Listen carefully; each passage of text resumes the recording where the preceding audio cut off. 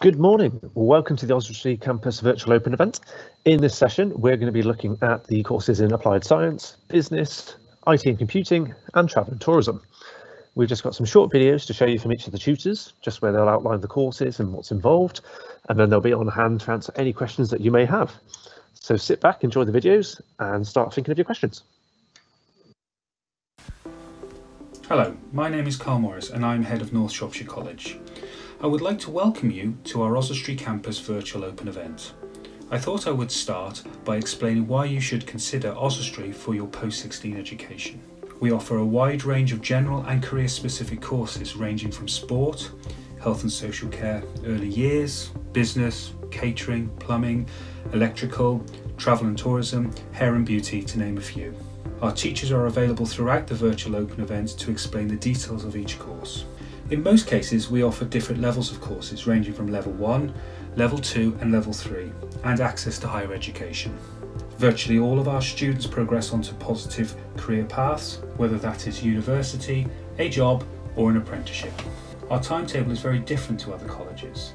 The vast majority of our students come into college for three days per week. During this time, they work very hard, but they have freedom for part-time jobs, work experience on the other two days. This also reduces their travel time into college. We have excellent facilities for all our courses, with specialist workshops and practical areas where needed. If you are interested in a career in football, whether playing or coaching, please look into our football scholarship programme run in conjunction with TNS Football Club, the Welsh Premier League champions. If you have any questions, please take the opportunity to speak to teachers during this event. Staff will be available to discuss transport and finance queries as well. If you have not done so already, it is not too late to apply for next year. This can be done by filling in an application form found on our website. Thank you, and I hope you enjoy this event. Hi, I'm Mike, one of the teaching staff for BTEC Applied Science. What I really like about this course is that it exposes the students to a range of different job opportunities in science, and it teaches them the essential skills that they will need to fulfill these job roles.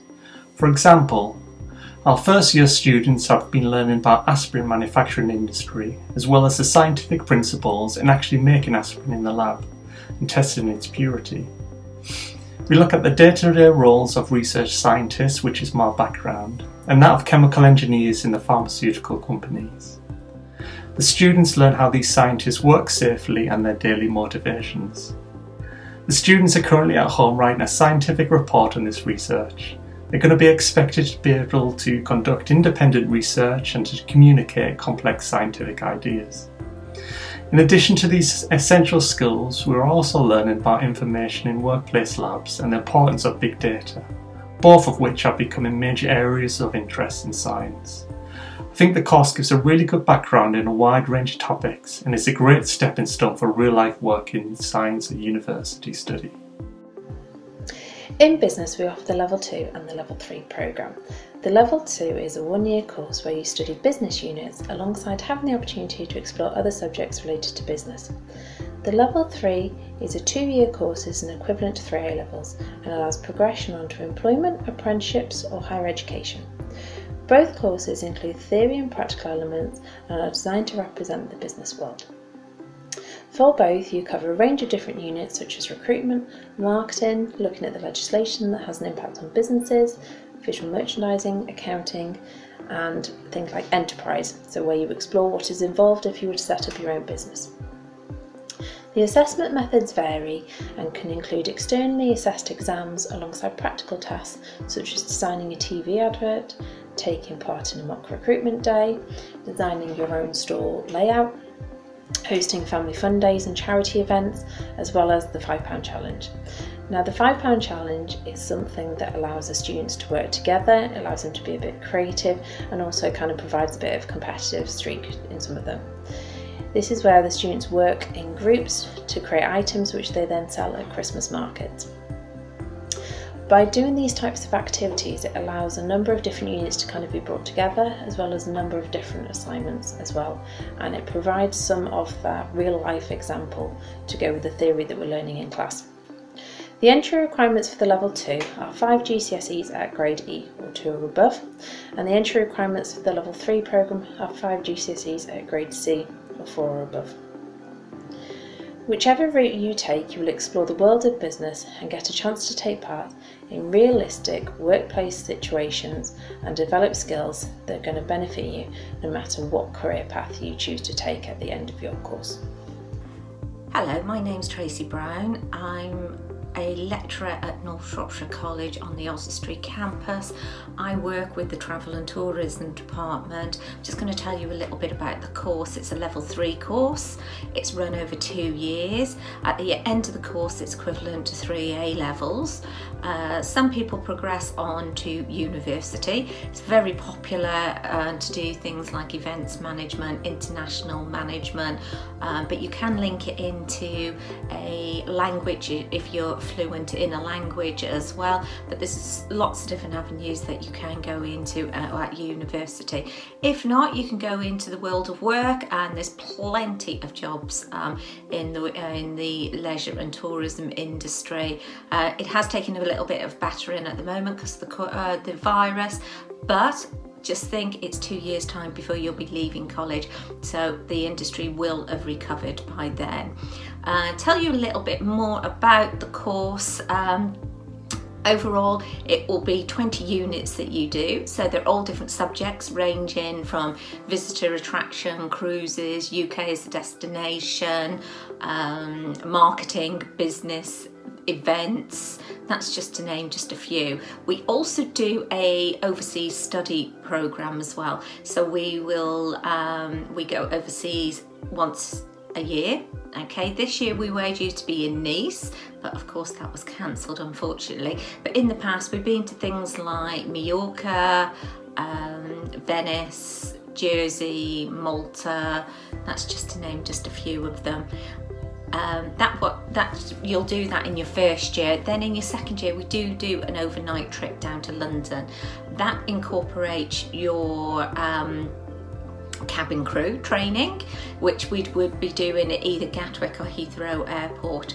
Um, there's certain things with the cabin crew that we can't do on premises, things like you're uh, putting out a fire on board an aircraft, evacuating it, how to open and close the, the safety doors. So we, we go down to London to be able to do that. We also do a lot of day trips.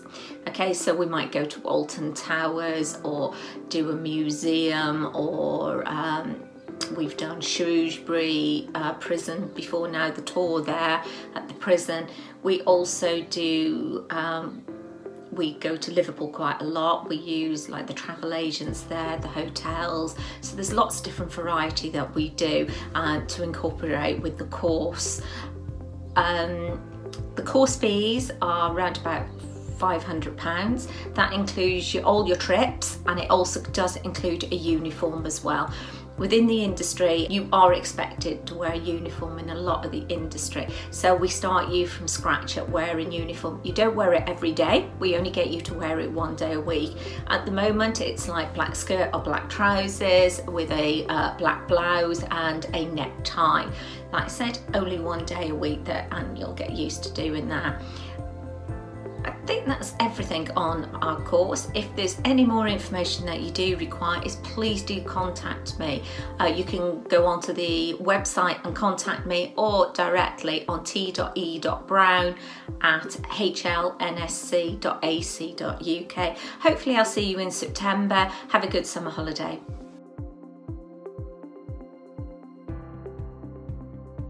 Hello there, I'm Robert Barlow, and some of the things you'll study in uh, the first year will be game development, website uh, creation, uh, project management, and then you'll have two exams. One will be uh, cybersecurity, the other IT service delivery, and on top of that, we'll do some actual uh, IT uh, support, technical support specifically.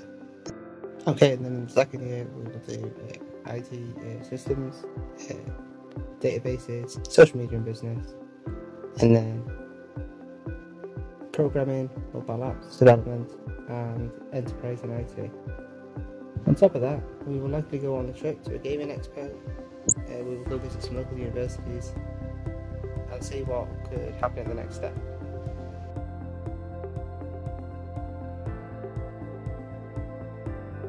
Okay, so just before we finish up, um, there's going to be a closing video from Jack, one of my current uh, students. Um, I just wanted to talk that we at Current do the level 3 IT uh, BTEC. Uh, the college is considering doing a level 2, which would incorporate uh, various other subjects, um, including IT. Um, and then, in regards to the equipment, I've got pretty good computers in my classroom. Um, my advice would just be to uh, have something to back up your uh, data on, USB sticks, the cloud, etc. And then, um, in regards to trips and such, uh, we are likely to go to a gaming expo or um, as well as um, some of the local universities. Hello, my name is Jack Bevan and I'm a Year 1 student currently studying Level 3 IT at North College.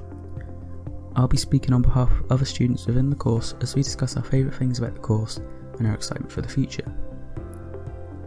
What we liked about the course so far was that we were able to develop on our own knowledge that we already had, but we were also able to develop skills that employers would actually like as well as your grades, such as charisma, communication skills, and teamwork. I can confidently say that I have never been more ready for the working world than when I joined this course. One thing I got from asking other students was that it also helped build confidence, as people were antisocial for a bit before, but once they joined the course, they started talking more. We're all extremely excited for the next year and what it holds for us as we learn new things and as we gain more options of what we can do in the future. May have.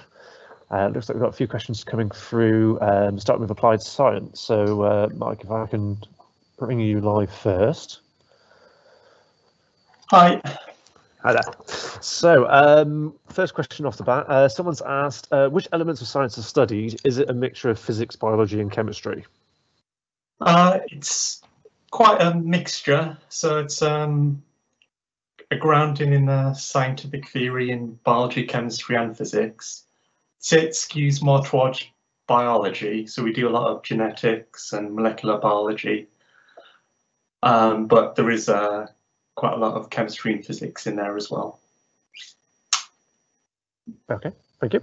Um, someone's asked, uh, what degrees could I go on to study after the applied science course? Uh, so we've had students in the past that have gone on to study uh, biomedical science and um, quite a few that have gone on for uh, nursing degrees as well. And uh, we also have quite a few students that go on to do apprenticeships in local um, scientific organisations and become lab technicians. And uh, we've also had uh, students going on for uh, veterinary uh, technicians as well. Okay, brilliant. Um, is there much in the way of trips in in the course as well? Yeah, so we um we were going to be going to um, the university at Wrexham to uh, visit their labs, but uh, obviously with uh, what happened, uh, we couldn't go. But um, yeah, we do have trips to uh, local labs to find out what uh, scientists do on a, day-to-day basis and have a look at the equipment they use as well. Okay, great, thank you. Moving on to business, uh, Louise, if you're there, we've got a couple of questions that have come in.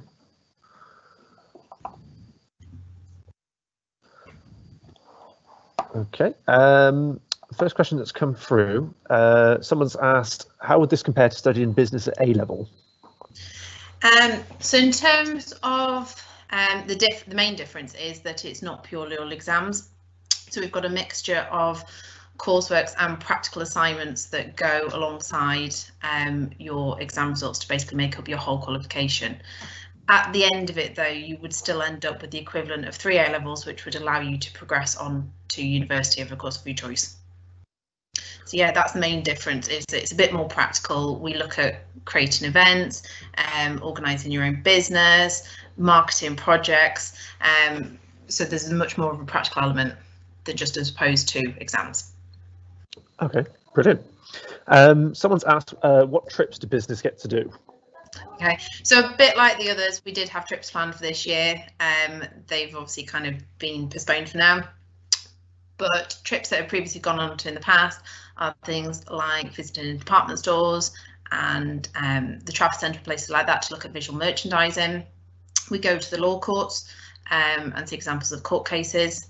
Um, we had a trip planned to Chester Zoo to have a talk from them about how they do their marketing, and their business side. Similarly, we kind of go to universities and have a look um, if that's kind of a route for progression.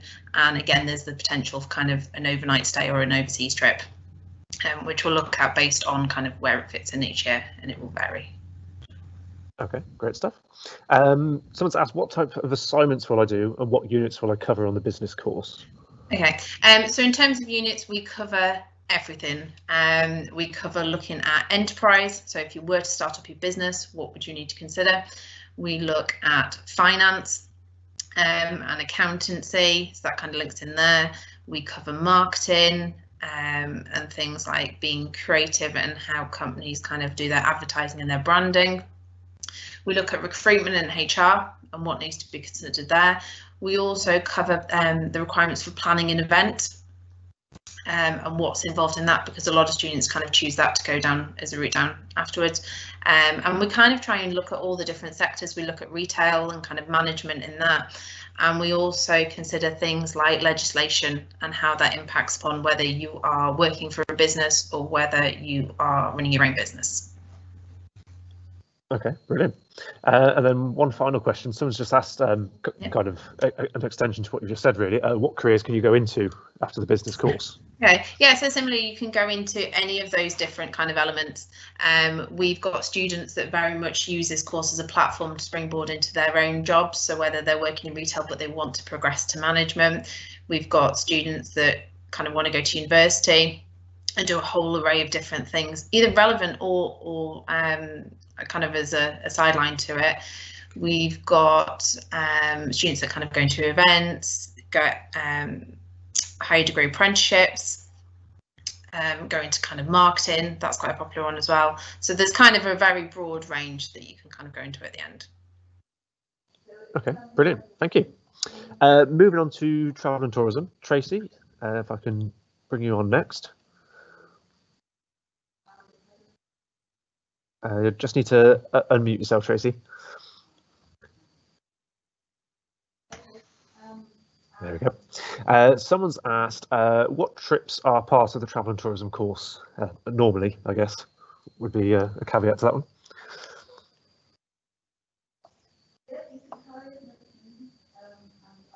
Yeah. Hi. Hi, yeah, we can hear you, yeah. Um, so, someone just asked what, what trips would be part of the travel and tourism course normally. Because the type of the course that it is, we have lots of trips going. We do have our overseas trip that we do once a year. Uh, we're usually away from anything from three to five days, depending on the cost. Been to lots of different places um, all over Europe. Um, we also do um, day trips uh, we do things like Alton Towers. We go up to Liverpool. We've got some really good links in with places up in Liverpool, uh, like the hotels, the uh, travel region. We do a lot of museums as well. Uh, but it depends on the group, what group want to do really. And we put it out students decide where we're going instead of me telling them where they're going. Um, obviously, coronavirus at the moment very, very restricted this year, but hopefully next year things will start lifting again and we'll be able to visit a lot more places. But the students find it really worthwhile. Instead of writing about assignments all the time, they could take video evidence, photograph evidence, and use that as part of their assignment, which they really enjoy. Okay, brilliant. Sounds great. Um, someone's asked, do I have to wear uniform every day? No, it's only part time. We get them to wear their uniform just one day a week, especially when we do cabin crew and overseas reps, because there's a lot of practical aspects in it. And so it's nice to get them to uh, wear a uniform. Now, the students that are on the photos of all our promotion at the moment are actually wearing the old uniform. The new uniform is black with a with a tie, so it's more we've modernised it this year. Okay, brilliant. We'll uh, have to come and get some fresh photos of that then for marketing. Yes. Um, someone's um, asked, uh, what jobs can I do after the, the travel and tourism course? the industry is the second largest industry in the world outside of uh, finance and banking. There's a lot, a lot of people employed in the leisure industry. People don't realise that things like events management, um, every hotels, cruising, any holidays, that's all part of the industry. We have a lot of people go into different jobs, but also this course doesn't set you up just to do travel and tourism we've had students that leave us uh, because we do a lot of like marketing, business, uh, customer service as well. We've had students go into uh, working in banks. We've also got somebody that actually works for Shropshire County Council at the moment in their marketing department, and they do all their brochures. They they do all the online uh, business as well. So there's lots of different jobs, and each person is different. There's it is so variety for people to look in to different jobs. Okay, brilliant. Um, quite relevant to that, someone's asked, is it still worth training to work in the tourism industry with everything that's going on? Yes, it is. The tourist industry will be the first to recover. Like people enjoy traveling, they enjoy going out. Okay, it's not as if um, you know the tourist places will be opening back up and people love their holidays, love going to um, things like events, um, musicals, um, things like that. So it will. And this course, you've got to think, is two years. By the time you finish your course, there'll be a lot, lot more jobs about, and the industry will have opened up fully by then. Okay, brilliant. Thank you very much, Tracy. Uh, moving on to uh, computer science, IT. Uh, Rob, if I can just bring you in. Are you okay? Okay, so uh, we've got a few different questions. Um, someone's asked, how much programming do we get to do uh, and what programming languages do we use?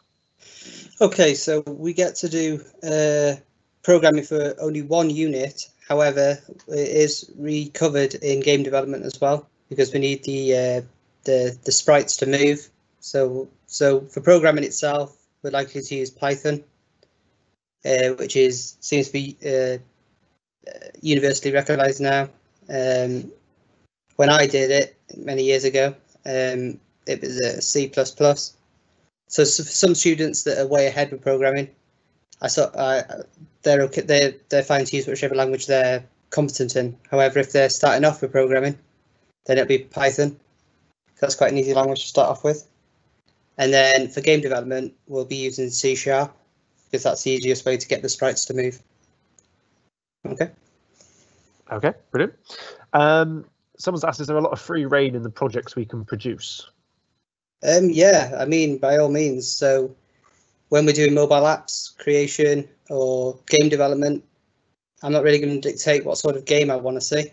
You know, if you want to make, I don't know, the next uh, Mario, then you know you could make that. Or if you wanted to make, I don't know, Tetris or something like that, you know, it's up to you really. Then the same with the mobile apps. I like to see individuals' creativity. So, you know, some of them were making games, some of them were making a chat app, some of them were making um, a bit like a picture, a, bit, a, bit, a little bit like Snapchat, I suppose.